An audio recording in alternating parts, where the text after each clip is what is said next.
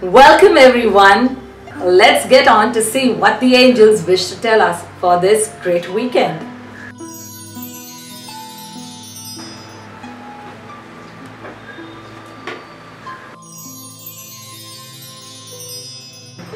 Today's message tells us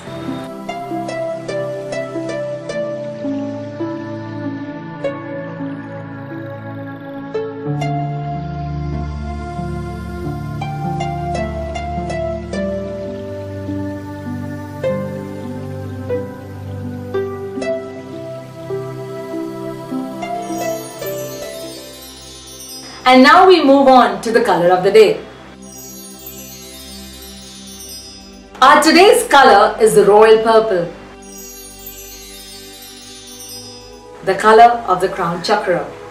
Work with this beautiful color so that you can open the sky dome of universal knowledge and help the angels to intervene and infuse you with all the wonderful energies of faith, love, compassion, kindness and all that is required to fill your lives and move you ahead on your path.